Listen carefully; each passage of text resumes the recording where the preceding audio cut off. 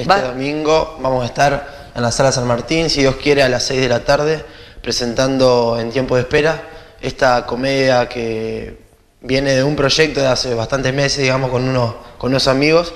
Y bueno, vamos a estar, gracias a Dios, eh, la gente de cultura y, toda la gente siempre apoyando a, la cultura, ¿no? Vamos a estar presentándonos a las 6 de la tarde, haciendo una gira por todo Entre Ríos. Venimos de, de preparar esta obra de Buenos Aires, así que Vamos, vamos a ver a ver qué sale.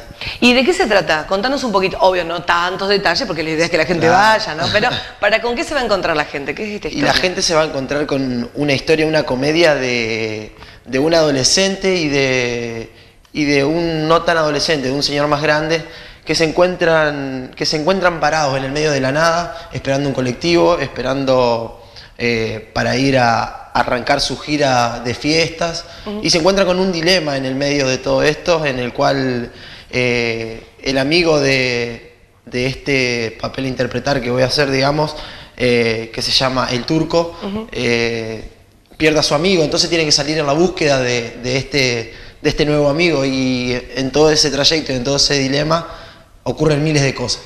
Y bueno, es lo dejamos ahí porque... Claro, y ahí se, va a desarrollar esta obra. Desde las 18, como vos decís, en la sala San Martín se le pide a la gente que sea puntual, por supuesto, y también es, con un fin solidario, Cali. Con un fin solidario porque eh, vamos a estar... Eh, simplemente pidiendo un alimento no presero para la gente, bueno, para nuestra querida Entre Río, digamos, que está en una situación que... Eh, así que decidimos un alimento no precedero para ayudar y que después será donado. Uh alguna institución, seguro. A una institución, sí, para, para, ayudar, para darle una mano a esta gente. Y bueno, yo te presentaba, decía Khalil, puede. Puede un apellido de San Salvador. Vos sos un hijo de San Salvador que se ha ido a capacitar ¿dónde? Digamos, ¿qué es lo que vos estudiaste? Contanos. Eh, yo estudié primero tres años en la ciudad de Santa Fe. Eh, promotor sociocultural, actor y director. Me recibí y ahora estoy actualmente estudiando en la ciudad de Buenos Aires.